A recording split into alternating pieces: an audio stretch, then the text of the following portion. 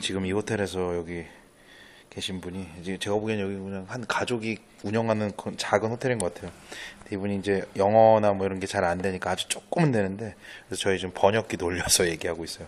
조금 불편하긴 해도 사실은 이 여행 다니면서 이렇게 예상치 못한 이런 것들이 여행의 묘미가 아닐까 싶어요. 저희는 일단은 여기서 달랏에서는 그 오토바이를 한 이틀 정도 렌트하기로 했고요. 가격을 물어봤더니 하루에 15만 동이래요. 7,500원 정도. 뭐 괜찮죠 뭐. 달라서 뭐 오토바이 타고 다니기 딱 좋죠. 운전만 잘하면. 자, 방에 왔어요.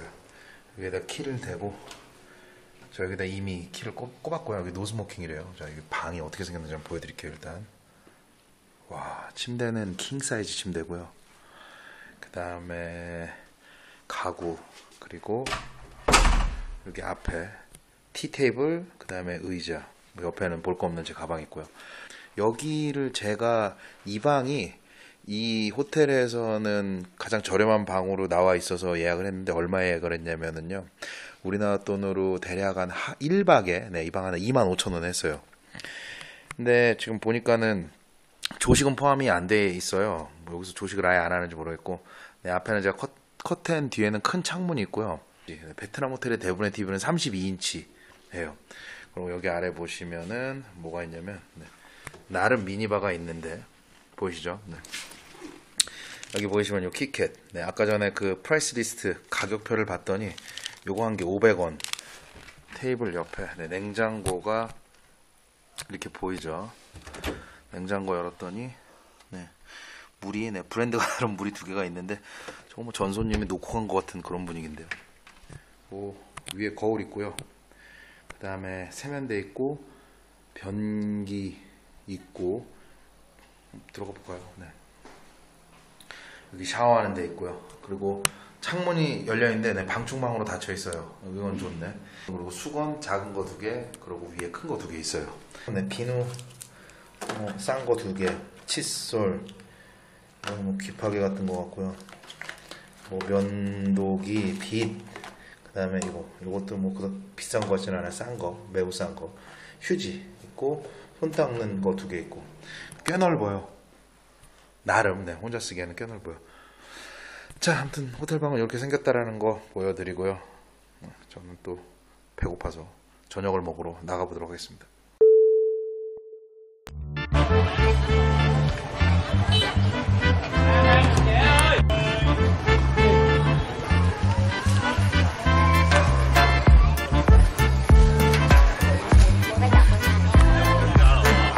지금 달랏 야시장 구경 중인데 여기 지금 판매하는 게 맛밤이에요 맛밤. 여기 보이시죠? 네. 이거 작은 사이즈가 3만동 요 큰 사이즈가 5만동이에요. 맛있어. 어, 여기 아주머니가 장사를 잘 하시네. 네 그래서 여기에 이렇게 나와 있는데. 어 맛있어요. 아, 맥주 한, 맥주 한줄 최고. 어, 이거. 가만. 아 재밌네요. 네, 여기는 뭐 찰밥을 파는 것 같은데요. 찰밥에 소세지 자른 거, 메추리알 자른 거, 그다음에 저거는 돼지고기 뭐 좀 실처럼 생긴 건 돼지고기 말린 거 가루로 만든 것 같고요. 와, 이 야시장에서는 또 뭐도 파냐면은요. 지금 보이시는 게 감이에요, 감. 네. 베트남에서 여기 달라이 좀 추운 지방이다 보니까는 감을 팔기도 하고, 그다음에 와, 이 딸기가 아. 딸기가 5만 동이었는데 색깔은 막 그렇게 막 빨갛거나 그렇진 않고 사이즈도 그렇게 크지는 않은데 hả 달랏. This 달랏 달랏 스트로베리? 아, 아 달랏에서 만든 딸기인가 봐요. 와 이거 뭐야? 와 지금 여기 까만 거 보이시는 거는 산딸기 같아요. 야 색깔 이쁘네.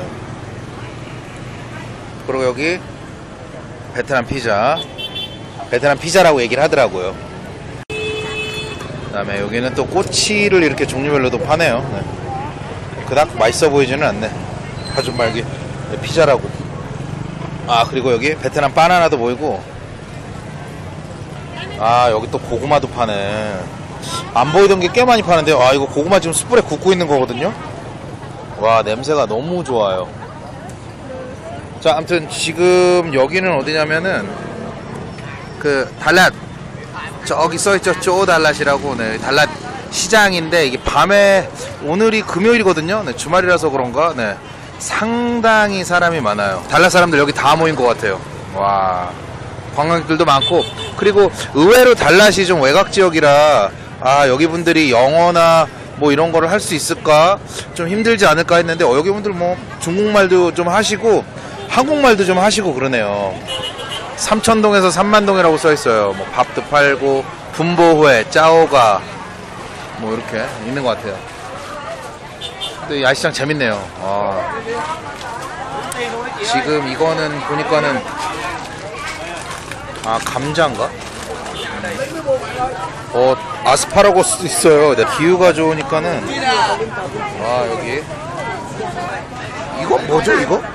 이게 뭔지 모르겠네. 그 위에는 뭐 토마토도 있고 고구마도 팔고 야 재밌는데요. 그러니까 타 베트남 도시에서 많이 보기 힘든 그런 것들이 있고요. 와, 이거 당근도 미니 사이즈인데 진짜 귀엽게 생겼어요. 저 토마토도 종류별로 다 있는 것 같아요. 그냥 일반 빨간색 토마토, 그 다음에 까만색 토마토도 보이고,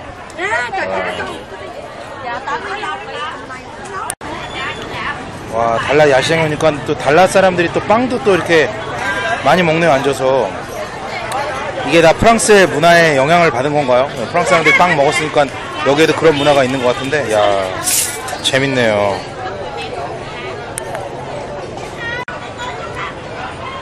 이거는 뭐지? 아, 이거는 뭐 양파 같기도 하고, 아, 저게 로터스인가요? 네, 여기 쌀국수, 쌀국수 파는 데도 있고요, 이렇게. 그 다음에, 이건 뭐지? 유부하고 뭐 고기 가른 거 덩어리 만들어서 구운 국물 같아요. 그뭐 쌀국수에다가 면에다 먹는 건가? 외국 사람들도 보이고. 저거 뭐죠? 저거도 무슨 빵 같은 거 만드는 것 같은데? 아, 저렇게 뚜껑을 여니까 신기하네. 다 익었나 확인한 것 같아요. 계란찜 같기도 하고. 아, 재밌네. 무슨 야바위 게임하는 것 같기도 하고. 아, 저게 이름이 반짝농인 것 같아요. 고구마 옥수수도 구우시고. 야, 여기 또 전문가의 손길이 느껴지네요. 아, 제가 지금까지 베트남에 엄청나게 여러 군데를 가봤는데, 어, 달랏 야시장은 진짜 제일 베트남틱 한 것 같아요. 여기는 꼭 오셔서 구경을 하셔야 될 것 같아요. 물론 사람이 많은 곳이니까 그 소지품 같은 거는 꼭 주의하시고요. 네, 마지막 코스. 야시장의 마지막 코스는 무조건 롯데리아죠.